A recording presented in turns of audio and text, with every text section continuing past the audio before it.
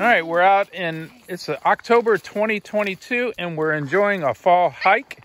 And Danny's got a backpacking pro tip for us. What is it, Danny? Um, well, you, well, you, taking, well, taking breaks is good and, and always stick with your troop because, because, because you don't want to get lost and stuff. I think that's great. And it should you should have a partner with you hiking, shouldn't you? Mm, Just to make sure that you got somebody to kind of look out for you.